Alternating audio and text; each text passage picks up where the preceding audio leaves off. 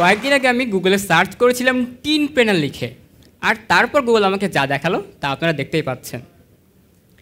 আমি ভেবেছিলাম আমি হয়তো বা বানান ভুল করেছি, মূর্ধন্য জায়গায় দ্বন্দ্বন দিয়েও চেষ্টা করেছিলাম, কিন্তু শেষেও গুগল আমাকে কোনো ফলাফল দেখায়নি। আপনারা সবাই জানেন, আমি একজন টিন প্রেনার বা টিন এজ অন্টারপ্রেনার হিসেবেই আপনাদের সামনে এসেছি। অথচ গুগল আমার কোনো খোঁজই দিতে পারল না। কিন্তু এটা কেন? গুগল কি বোঝাতে চাইলো? আমার কোনো সফলতা নেই? নাকি গুগল বোঝাতে চাইলো? আমি তেমন কিছুই করিনি, যার জন্য গুগলের কাছে আমার তথ্য থাকবে না। নাকি গুগল আমাকে ইন্সপায়ার করতেছে, আমাকে মার্কস জাগার বা কিংবা বিল গেটসের মতো কিছু একটা করতে। আমি ভেবেছিলাম হয়তো বা গুগলই আপনাদের সাথে আমার পরিচয় করিয়ে দিবে। কিন্তু দুঃখজনক গুগল আমার খোঁজই দিতে পারেনি। তাই এক প্রকার বাধ্য হয়ে আমার নিজের পরিচয় নিজেকে দিতে হচ্ছে। আমার নাম মাসুম আকন্দ। আমি একজন টিন এজ অন্টারপ্রেনার এবং প্লেক্স ডট ডিজিটালের প্রধান নির্বাহী কর্মকর্তা। মাত্রই বলেছি, আমি প্লেক্স ডট ডিজিটালের প্রধান নির্বাহী কর্মকর্তা। আপনাদের মনে প্রশ্ন জাগতেই পারে প্লেক্স ডট ডিজিটালটা কী? এটা হচ্ছে আমার স্টার্ট আমরা কৃত্রিম বুদ্ধিমত্তা রোবোটিক্স এবং আইওটি নিয়ে কাজ করি। আমি যেহেতু একজন টিন সেহেতু আমি টিন অন্টারপ্রেনার এই দুটো জিনিস নিয়ে কথা বলব।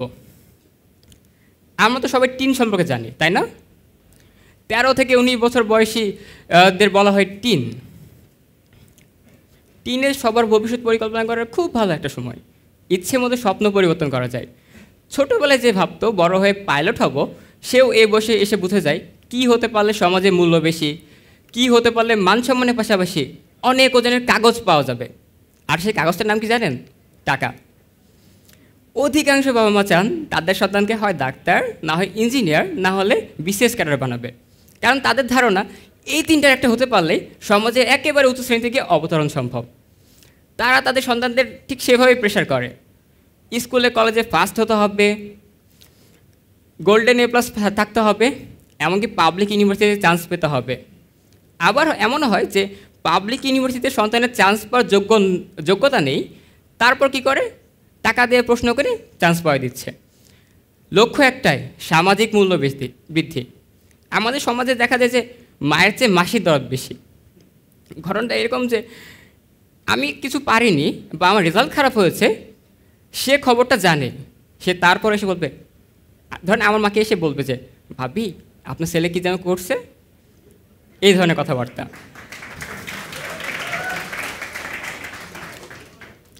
আমি যদি আমার জীবনের কিছু গল্প আপনাদের শোনাই, তাহলে বলব কীভাবে ব্যর্থ হয়েছি আর কীভাবে সামান্য সামান্য সফলতাগুলো এসেছে। যখন ক্লাস সেভেনে পড়ি, তখন আমি জানি না ইন্টারনেট কি। শুধু জানতাম বইয়ের মধ্যে, বিজ্ঞান বইয়ের মধ্যে ইন্টারনেট নামে একটা জিনিস আছে, সংজ্ঞা এক মার্কের আসতো, লিখে ফেলতাম। আমি তখন জানতাম না মেগাবাইট কি। জানতাম না ইন্টারনেট প্যাকেজ কি, আর ইন্টারনেট বলতে আসলে কী বোঝায়, সেটাই বুঝতাম না।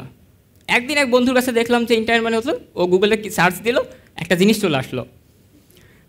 যেহেতু আমি জানি না ইন্টারনেটটা কী আমি বন্ধুদের কাছে শুনলাম কীভাবে ইন্টারনেট কনফিগারেশন করে, কীভাবে ইন্টারনেট চালায়। ক্লাস সেভেনের কথা। তারপর আমি একটা বই পড়ি। বইয়ের টাইটেলটা ছিল এরকম ইন্টারনেটে আয় করা যায়। সেই বই পড়ে তো আমি ইন্সপায়ার্ড আমি আয় করব। কিন্তু আমি জানি না ইন্টারনেট কি তখনও। তারপরে শুরু করলাম ইন্টারনেট চালানো। একটু একটু করে চালাচ্ছি। এইচ এইচটিএমএল দিয়ে শুরু হলো আমার যাত্রা। আমি এইচ এইচটিএমএল দিয়ে কী করে না করে বিভিন্ন প্র্যাকটিস করতাম। তো করার পরে দেখলাম যে যাই লিখি, একটা সাদা পেজের মধ্যে হজবরল হয়ে থাকে। তখন আমি জানি সিএসএস কি। তারপর শিখলাম সিএসএস আস্তে আস্তে বুঝলাম যে এইচটিএমএল অনেকটা বাচ্চাদের কাজ, তবে লাগে। একটু অন্য, একটু উন্নত কিছু করা দরকার। তারপর শুরু করলাম পিএইচপি পিএইচপিতে মোটামুটি কাজ টাজ করতেছি। একবার আমি কাজ পেলাম শিক্ষা মন্ত্রণালয় থেকে প্রত্যেকটা স্কুলকে নির্দেশনা দেওয়া হয়েছে। প্রত্যেকটা স্কুলের ওয়েবসাইট থাকতে হবে। আর আমি সেই সুযোগটা লুফে নিছি। আমার, ওই ওয়েবসাইটগুলো বানানোর আগে আমার জাস্ট একটা ওয়েবসাইট বানানোর এক্সপিরিয়েন্স ছিল। আমি তাদেরকে গিয়ে বললাম, আমি এরকম এরকম কাজ পারি। আপনার আমি এইটুকু বাজেটের মধ্যে কারণ টিচার মানুষের একটু কিপটা হয়। তাদেরকে আমি তাদেরকে আমি বলছি আমি তাদেরকে বলছি, স্যার, এই জিনিসটা করতে গিয়ে দেখেন, অন্য কোম্পানি তিরিশ হাজার টাকায় অফার করতেছে। আমি সেটা আপনাকে ছয় হাজার টাকায় করে দিতে পারব। তার তো হ্যাঁ হ্যাঁ অবশ্যই, সমস্যা নেই, তোমরা করো। আমি এরকম করে দিচ্ছি আর পকেটের টাকা পয়সা জমাচ্ছি। এভাবে যাত্রা শুরু। এসএসসি রেজাল্টটা আমার খুব খারাপ হয়ে গেল। অনেক কারণেই। লোকজন আমার বাবা মাকে বোঝালো, ছেলে তো একবার নষ্ট হয়ে গেছে, এটা শেষ। এটাতে কোনো লাভ নাই। যেইটুকু বাকি আছে এইটা যদি বাঁচাইতে চাও, ওর একটা আবাসিক কলেজে ভর্তি করো যেখানে ইন্টারনেট চালাতে পারবে না। আমার বাবা আবার, আমার চেয়ে আবার ওই যে সমাজে মানুষগুলো, তাদেরকে একেবারে খুব মানে ভক্তি করে, তাদের কথা একবারে সত্য, আব্বু যেই কথা সেই কাজ, আমাকে ভর্তি করা হলো। তবে সেখানে গিয়ে আমি লুকিয়ে লুকিয়ে ইন্টারনেট চালাচ্ছি সব কিছুই করতেছি, কিন্তু কেউ খবর পায় না। কলেজে থাকা অবস্থায় একটা বাংলাদেশে একটা ইন্টারন্যাশনাল ইউনিভার্সিটি আছে তারা আইসিটি অলিম্পিয়াডের আয়োজন করেছে। তো আমি সেখানে গোপনে গোপনে রেজিস্ট্রেশন করেছি। নিজের পকেটে খরচ দিয়ে আমি রেজিস্ট্রেশনটা করেছি। এখন আমি প্রিন্সিপালকে বললাম ম্যাম আমি তো এখানে যাব, তো আমাকে একটু পারমিশন দেন। আমি আবাসিক স্টুডেন্ট প্রথমে বলল, ঠিক আছে, কোনো প্রবলেম নেই, তোমরা তুমি যাও। আমি বললাম, একটা টিম হয়ে গেছে, আমরা সবাই যাব। আগের দিন গিয়ে বলে, না, তুমি আবাসিক স্টুডেন্ট না, তোমার যাওয়া চলবে না। এই তো, আমার প্রোগ্রামটা মিস হয়ে গেল। এরপর আমি খুঁজি যে কখন কোনো প্রোগ্রাম পাইলে যাওয়া যাবে কি না হুট করে দেখলাম ডিজিটাল ইনোভেশন ফেয়ার ওই সময় আমার প্রিন্সিপাল ম্যাডাম ছিল দেশের বাহিরে। আমি একটা খুব ভালো সুযোগ পেয়ে গেছি। আমি গিয়ে করছি কি ডিসি অফিসে গেছি। ডিসি অফিসের পিএস স্যারকে দিয়ে বলছি যে, স্যার, এরকম এরকম, আমাকে তো যাইতে দেয় না। আপনি যদি একটা ফোন করে দেন, আমাকে সেও যাইতে দিবে। তাকে আমার সামনে ফোন করাইছি। স্যার কলেজে ফোন দিল হ্যাঁ আমার পারমিশন হয়ে গেছে। আমি ওই সময় আমার একটা প্রজেক্ট ছিল, নাম ছিল জোনাকি। জোনাকি হচ্ছে বাংলাদেশের ফার্স্ট ডিজিটাল অ্যাসিস্ট্যান্ট আপনাদের কর্টানা জার্ভিস এসবের নাম তো জানেন, তাই না? আমার জোনাকি হচ্ছে ঠিক ওরকম, কিন্তু এটা বাংলা ভাষায় কাজ করে, আর আমি এটা তৈরি করেছিলাম। সরকারি যে তথ্য প্রাপ্তি মানে সরকারি যে ইনফরমেশনগুলো আছে, কারণ আপনাকে একটা তথ্য প্রাপ্তির জন্য কী করতে হয়? একটা ওয়েবসাইট ঘাটতে হয়। একটা ওয়েবসাইট অনেক মেগাবাইটের হয়। আপনার আপনার খুঁজে খুঁজে তথ্য বের করতে হয়। আবার চাইলে যে তথ্য পাবেন, তা কিন্তু না। এই জন্য জোনাকিটা বানানো জোনাকি এক থেকে সর্বোচ্চ চার সেকেন্ডের মধ্যে আপনাকে তথ্য প্রোভাইড করে। আপনি তথ্য ভেরিফাই করতে পারবেন, আবার জোনাকিকে চাইলে শিক্ষাও দিতে পারবেন। এমনও হয়েছে, আমি যখন এটাকে মানুষের কাছে দেখাচ্ছিলাম যে এই যে এই জিনিসটা আমি বানাইছি, তারা প্রশ্ন করে একটা, জোনাকি বলে কি, আমি এটা তো জানি না। বলে কি, কী বানাইছো তুমি? তখন আমি বলি যে, দেখেন, একটা ছোট বাচ্চা যখন জন্ম নেয়, তখন কিন্তু সে শিখে আসে না। তাকে শেখাতে হয়, সে একটু একটু করে শেখে, তারপর সে আসলে কথাবার্তা বলতে পারে। আমিও যেমন, আপনিও তো ওরকমই। তখন চুপচাপ থাকতো, কিন্তু তাও মনে মনে কানে ঘুষা করতো যে, কি না কি বানাইছে, কিছুই কি, বুঝি না। তো এরভাবে জোনাকি চলতেছিল। আমি ইনোভেশন ফেয়ারে দেখালাম, একটা পাবলিক ইউনিভার্সিটির ডিন এবং সিএসসি ডিপার্টমেন্টের চেয়ারম্যান তিনি আমাকে প্রায় পাঁচ থেকে ছয় মিনিট সব টেকনিক্যাল বিষয়ে প্রশ্ন। মানে তার বিশ্বাস হয় না যে এরকম কিছু আমি করতে পারি। একটার পর একটা প্রশ্ন দিতে আমি তো ঘেমে গেছি পুরো। আমি ভাবলাম, শেষ, এখানেই যাত্রা শেষ, এটা তো কোনোদিনও হবে না। রেজাল্টের সময় গিয়ে দেখি কি সেকেন্ড হয়ে গেছি। আবার শুধু সেকেন্ডই না। শুধুমাত্র সেকেন্ড না, আমার এটা একটা বাংলাদেশের বেসরকারি টেলিভিশনের প্রযুক্তি নিয়ে প্রতিষ্ঠান প্রোগ্রাম সেই প্রোগ্রামে দেখাচ্ছে। ওই দিন আমি আমার বাবাকে বললাম যে, এই সময় তুমি টেলিভিশনটা অন করো, তাহলে আমাকে দেখতে পাবা। আব্বু দেখতেছে, তারপর ফোন দিছে, ও, তুমি এসব করো ওখানে গিয়ে না? প্রথমে। তারপরে আব্বু এটুকু বুঝলো যে, ছেলে নষ্ট হয় নাই। ও, কিছু কথা তো মিসিং হয়ে গেছে। আমার কোনো অ্যান্ড্রয়েড ফোন ছিল না, কিন্তু তখন আমি অ্যান্ড্রয়েডের অ্যাপ বানাতাম। আমার কোনো ল্যাপটপ ছিল না। আমি একটা বাংলাদেশের বেসরকারি টেলিকম অপারেটরের কাস্টমার কেয়ারের পাবলিক পিসি তারপরে সাইবার ক্যাফে এসব বন্ধুর বাসায় কম্পিউটার চালাতাম।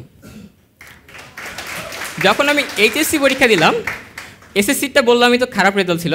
এইচএসসি একটু ভালো হলো। মানে এসএসসি হলো ফোর পয়েন্ট থ্রি থ্রি এটা ফাইভ হয়ে গেল কোনোভাবে। তো তারপরে আব্বু আমাকে কম্পিউটার কিনে দিল। আর সেই কম্পিউটার নিজের কম্পিউটারে ফার্স্ট যে সফটওয়্যারটা তৈরি করলাম, সেটাও কৃত্রিম বুদ্ধিমত্তা নির্ভর একটা সফটওয়্যার নাম হচ্ছে গনি ময়রা। ময়রার নামটা শুনলে হয়তো বুঝতেছেন যে এটা দোকানদার টাইপের কিছু একটা। তো আমার এই সফটওয়্যারটা কাজ হলো, এটা নিজেই একটা দোকান চালাতে পারে, আপনাকে একটা লোকের দরকার নাই। আমি, আমার তো, আমার ছোটোখাটো স্টার্ট আপ একটা এরকম ইভেন্ট করে একটা প্রোডাক্ট লঞ্চ করার সামর্থ্য আমার নাই। এমনকি আমার প্রজেক্টে আমি যে ফান্ডিং করে যে একটা প্রোডাক্ট বানাবো প্রোটোটাইপ সেই পরিমাণ অর্থটা আমার নাই। আর আমার ফ্যামিলি অতটা সামর্থ্যবান না আমার পেছনে এইভাবে টাকা পয়সা বিনিয়োগ করার। তো আমি প্রোডাক্টটা একটা সায়েন্স ফেয়ারে নিয়ে গিয়ে দেখাচ্ছি। সেখানে আমি বিচারকদেরকে বোঝাচ্ছি যে, স্যার, আমরা এটা বানাইছি, দেখেন এটা এরকম অনেকটা অ্যাডভান্স টেকনোলজি সব বুঝলাম দুই মিনিট ধরে। লাস্টে কে বলে কি আচ্ছা এটা কি আমাকে আলো দিতে পারবে এক কেজি? আমি তো টাস খেয়ে গেলাম। আমি বলতেছি কি জিনিস আর সে বুঝলো কি জিনিস। তারপর রেজাল্টের আশায় আমি ছিলাম যে কারণ যারা ওখানে গেস্ট ছিল, তারা সবাই বলতেছিল ভাষণের মধ্যে যে এরকম একটা জিনিস আমরা দেখলাম। আর রেজাল্টের মধ্যে কি দেখলাম? ইন্টারনেটে, ইউটিউবে যে কপ যেই ভিডিওগুলো পাওয়া যায়, সেগুলো দেখে প্রজেক্ট বানিয়েছে। তারাই ফার্স্ট সেকেন্ড হয়েছে এবং অনেক অঙ্কের টাকা পেয়ে গেল। আমি মানে কান্না পাইলো আর কি। এক কথায় আর কি অনেক পরিশ্রম করছিলাম। এভাবে চলছিল। গণিমরা করার পরে আমার চিন্তা ভাবনা আসলো যে আসলে সফটওয়্যার ইন্ডাস্ট্রিতে আমরা টিকতে পারব না। কারণ মোটামুটি আমি যাই বানাতে যাই না কেন, সবই আছে। আর প্রত্যেকটা ক্লায়েন্ট ধরা আছে মোটামুটি। তারপর চিন্তা করলাম, আমার এমন কিছু করা দরকার, আসলে এমন কোনো ডিভাইস তৈরি করা দরকার যেটা আমরা মানুষের কাছে বিক্রি করতে পারব। তো সেই জন্য আমরা বানাইলাম একটা রোবটট নামে রোবট আমাদের আবার ধারণা কি, কোনো একটা রোবট বানিয়ে আমরা কোনো কম্পিটিশনে গিয়ে পুরস্কার নিব, এটা আমাদের টার্গেট না। আমাদের টার্গেট হচ্ছে যে জিনিসটা বানাচ্ছি সেটা সবার কাছে পৌঁছে দেওয়া। আমরা পাঁচ হাজার টাকার মধ্যে একটা রোবটট রোবট তৈরি করেছি, যেটি আপনার ঘর পরিষ্কার করবে, ঘর মুছেও দিবে। আইওটি বেসড আপনাকে আর যে কোনো বোয়ার খরচ রাখ, দিতে হবে না, ঘরে টাকা দিয়ে বোয়া বসতে হবে না। পাঁচ হাজার টাকায় তো বিনিয়োগ ব্যাপার না, কয়েক বছর চলে যাবে। হ্যাঁ এখানে আবার একটা ঝামেলা আছে। আমার রোবট বানাইতে গিয়ে অনেকগুলো প্রবলেম ছিল। যেমন একটা মোটরও আমার বাংলাদেশে তৈরি হয় না একটা সেন্সর আমার বাংলাদেশে তৈরি হয় না। সিএনসি মেশিন দিয়ে যে আমি ক্যাসিং তৈরি করব, সেটাও আমার বাংলাদেশে সম্ভব না। কিন্তু কি আমাকে বলতে হচ্ছে, এটা বাংলাদেশি প্রোডাক্ট এটা কি জাতির সাথে ধোকাবাজি না? আমি আবার শাওমির খুব ফ্যান মানে এই যে বাংলায় কথা বলছি, সেটাও আমি শাওমির প্রধানকে দেখেই ইন্সপায়ার্ড কারণ সে তার প্রোডাক্ট লঞ্চিংয়ে সবসময় তার ল্যাঙ্গুয়েজে কথা বলে। আর আমি এর জন্য চেষ্টা করছি আমার নিজের ল্যাঙ্গুয়েজে কথা বলার। একটা ছোট গল্প দিয়ে শেষ করব। আমরা না আমাদের বাংলা, আমরা বাংলাদেশিরা বাংলাদেশিদের বিশ্বাস করতে পারি না। এটা আমার নিজের গল্প, আমার বাবার গল্প যেটা বলতেছি। কিছুদিন আগে আমার আব্বুর সাথে আমি একটা শোরুমে গিয়েছি মাইক্রো ওভেন কিনতে। আম্মু অনেক জেদ লাগছে মাইক্রো ওভেন লাগবে, তো আব্বু কিনে দিচ্ছে। তো আব্বুকে দেখতেছি খুঁজতেছে জাপানি ব্র্যান্ড কোনটা। তা আমি বললাম, দেখো, বাংলাদেশি অমুক ব্র্যান্ডটা যে কেন, এর চেয়ে বেশি কনফিগারেশনে তুমি জিনিস কিনতে পারবা। তা আব্বু বলে, না, ওরা তো চায়না থেকে সব কিছু আইনে বাংলাদেশে অ্যাসেম্বল করে বাংলাদেশি ব্র্যান্ড লাগাইছে। তা আমি এখন বললাম আচ্ছা তুমি তো বলো আমাকে স্টার্ট আপ দাঁড় করাইতে, আমার প্রোডাক্ট মানুষের কাছে পৌঁছাই দিতে। আর যেই প্রোডাক্ট আমি নিজের ঘরে বিক্রি করতে পারব না, তাহলে এটা আমি বাংলাদেশের সকল মানুষের কাছে পৌঁছাবো কীভাবে? তা আব্বু দেখে চুপচাপ। একটা ম্যাচিউরেজে যখন কেউ এন্টারপ্রেনার হয় হয়, তখন তার সাকসেসও হতে পারে, আবার সে অসফলও হতে পারে। কিন্তু টিনেজে তো অনেক প্রবলেম ফেস করতে হচ্ছে, এই যে যেমন নষ্ট হয়ে যাওয়া। যেটা সবাই আমাদের সমাজে বলে আর কি, যে সেটা নষ্ট হয়ে গেছে। আগে কি ছিল, আর এখন কি হয়ে যাচ্ছে? মানে সমাজ আসলে টিনদেরকে এই রূপে দেখতে চায় না। তো আমার মনে হয় যে বাংলাদেশে এখন দরকার আছে, কারণ আগামীর যে ভবিষ্যৎ সেটাতে কিন্তু নেতৃত্ব দিবে আজকের টিনরাই কারণ আমরা জানি যে আজকে শিশু আগামীর ভবিষ্যৎ। সেই ভবিষ্যৎ আমাদের নিয়ে যাবে আজকের টিনরাই তো তাদের অন্তপক্ষে এই কাজগুলো করা উচিত। মাঝে মাঝে ফেসবুকে প্রশ্ন পাই যে, আমার কলেজের বা ছোট ভাইরা কেউ মেসেজ দিয়ে বলে, ভাইয়া, এটা কিছু করতে চাচ্ছি। আমার কি করবা তো তো বলে কি কি করে টাকা ইনকাম করা যাবে তাই বললাম ফ্রিল্যান্সিং করো। এখন তারপরে একটা কথা বলি। দেখো ভাই, তুমি যদি ফ্রিল্যান্সিং করো যখন বিয়ে করতে যাবা, শ্বশুর মেয়ে দিবে না। যতই টাকা থাকুক। কিন্তু যদি একটা স্টার্ট আপ করো, শ্বশুর বুঝবে যে না, কিছু করতেছে, একটা ব্যবসা বলছেন হচ্ছে, দিলেও খারাপ হবে না। আপনাদের কাছে আমার একটা প্রশ্ন। আমি একজন টিন পেনার, এটা কি আমার দোষ? ধন্যবাদ সবাইকে।